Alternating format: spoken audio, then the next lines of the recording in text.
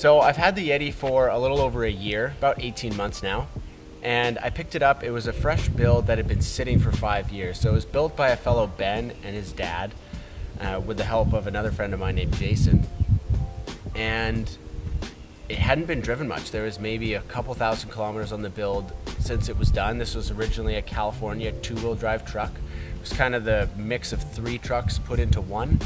So there was a California two-wheel drive uh, frame and chassis, and then there was an 83 4x4 pickup, and then an 86 cab. So it's definitely like a bit of a mishmash of different things. But what you get is uh, rust-free registered as an 86 Toyota pickup that has a super solid two-wheel drive frame. And I'll show you some closer details of that. Uh, when I got it, I already had a lot of the expensive stuff done, which I really like. I'm still learning how to weld and to fabricate.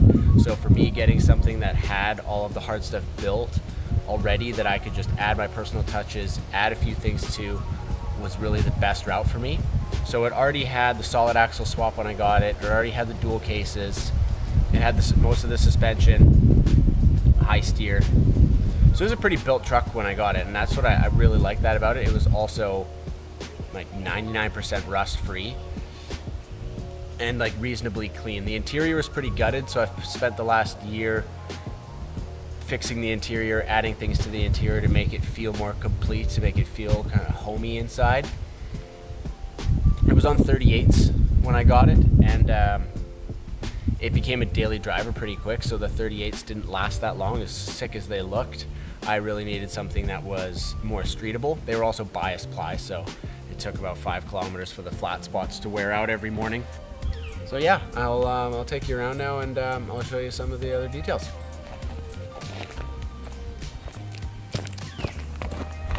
So these are those Berg wheels I was talking about. Uh, these are JDM spec. They're legit two-piece wheels and I absolutely love the look of these. They're obviously dirty right now, so sorry about that. And I honestly, I like having a 15 inch rim. I like having the big sidewall. I think they look great. Obviously we got our manual hubs, rebuilt everything last year, so everything works super slick. Rock sliders were built by a couple good buddies of mine, Will and Trent Fabsol and Madhouse Fab. They did a wicked job of these. I've used them every time I've gone wheeling. They're super strong. They got a nice kick out for uh, bumping around trees, which is great when you have an extended cab. And my absolute favorite part about these is that they're bolt-on. So these are bolt-on sliders and there was no compromise in strength with going with bolt-on.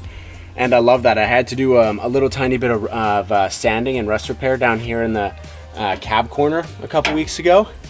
And if these had been bolted on, it would have been super awkward to get at. I wouldn't have been able to do a very nice job.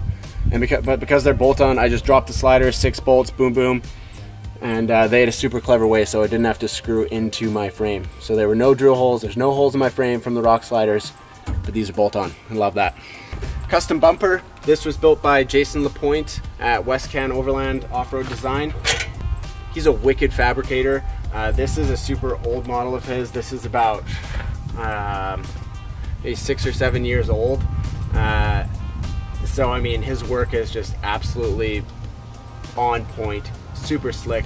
He actually did the rear bumper on Stacy's 4Runner. His work has improved so much, like even since he's done this. But I love the look of this bumper. I get lots of compliments on this thing, and it's super solid. I've I bash into trees all the time, and never had an issue with. We've also got the little cheapy uh, Amazon 21 inch light bar. Um, I wanted something that was super low profile. I'm not a big fan of the uh, big light bars that just are obnoxious and stick out there on, on your roof or on your bumper. I don't like that. This thing is super sleek, super low profile, and it's bright as hell. It was a hundred bucks, and it's it's night it's night and day from the candles that uh, Toyota put in these things. So love this little thing. So obviously we got the solid axle swap. This is an 85 front axle that really badly needs some armor, a truss, and some knuckleball gussets on it, but it doesn't have that yet. But we got the OTT high steer with uh, FJ80, I believe they're EMF, EMF tie rod ends, uh, which are the best you can get in my opinion. Like, don't buy the hundred dollar tie rod ends, or or God forbid, use the trail gear ones. Um, I had the trail gear ones, and they were they lasted about six months, and I started getting death wobble. Replaced them with these, and have had absolutely no issues since. Um, like I said, Marlin rebuild kit. Um, these are three inch leaf lift leafs. I'm not even actually sure what they're from. I don't know if they're like a rough bastard pack or they might be trail gear. I'm really not sure, but it's about a three to four inch lift leaf. Um, yeah, custom cross member. That's about it. It's a solid axle. It's freaking simple. Ugh.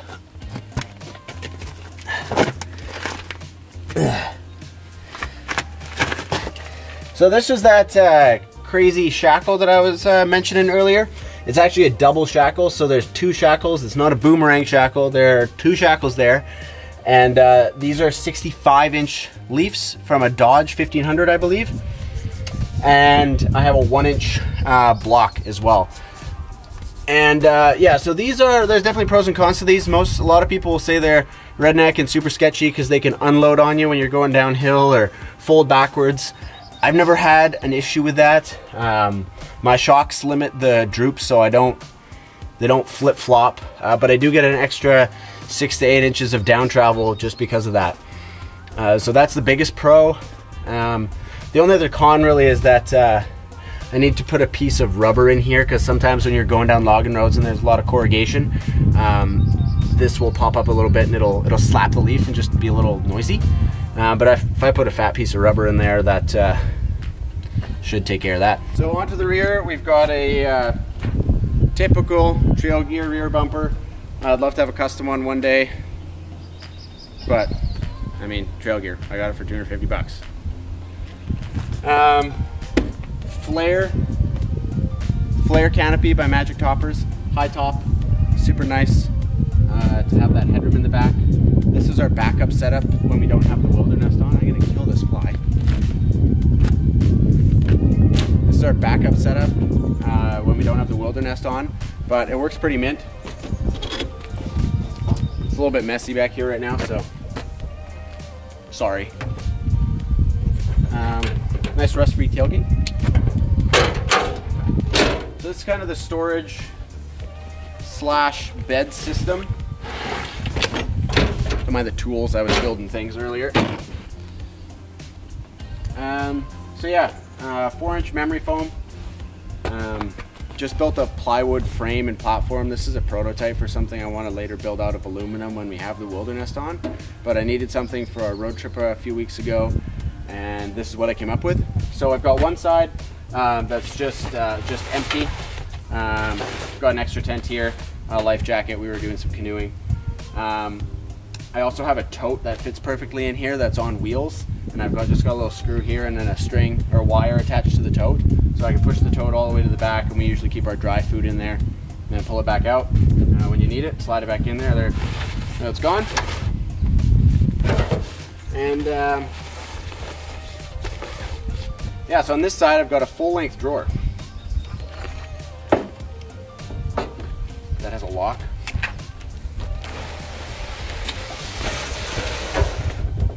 A full-length drawer, built 90% out of plywood. Um, I've got these little sliding uh, table things on there so you can uh, get whatever you need. So we usually have the, uh, the stove on the end here. Um, and then you can use uh, this other one as a cutting board or whatever. You can flip this one uh, sideways if you want to cook on the back of the truck. And yeah, so the back here is just storage. I got a ton of random stuff in here, recovery gear, uh, flashlights, ratchet straps, uh, a bottle of wine, because overlanders are classy, right? So yeah, super happy with the drawer. Um, there's no expensive sliders on here. Uh, there's literally no sliders at all. It just slides on plywood and um, this hardboard. This hardboard is like is pretty slippery, and uh, so I put hardboard on the bottom of the um, kind of frame, I guess, the skeleton of it, and then uh, hardboard on the bottom of this. So it slides pretty well. Um, it is a heavy drawer, so I mean it's not as easy as a slider, but I also don't sacrifice three quarters of an inch on each side for a slider. And yeah, there's a little storage cubby on um, on each side. That side's got a shelf. Um, this side's the same same height, but there is uh, storage down the side here, which I just keep like an axe, machete, um, my breaker bar. Yeah, I mean like the drawer. Mean just plywood. It's not. It's not too bad. Little shelf on this side with a sliding lid, so I've got strap in here, and I keep all my fluids and stuff in the bottom there.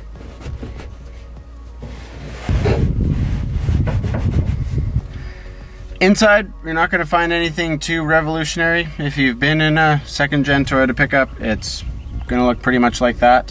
I did build a custom center console recently, which uh, holds my uh, Yeti water bottle perfectly upright or laying down. Uh, little storage thing in there for my little tire deflation thing, my wallet, um, just plywood, put a stain on it.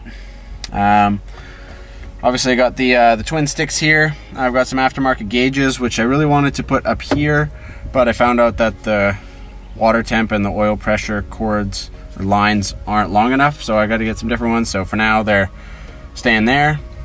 Uh, cell phone holder, RPM gauge. I mean, yeah, it's a pretty standard interior, but uh, I've got comfy seats and uh, armrests. So I mean, geez, what else can you ask for? There's not a whole lot to look at under the hood. It's a 22RE. There's a good chance you've seen one. This thing is basically stock with a top end gasket kit recently. It's it's got a header and an exhaust, a new air filter. That's uh, really about it. Upgraded uh, brake booster. And that's pretty much it.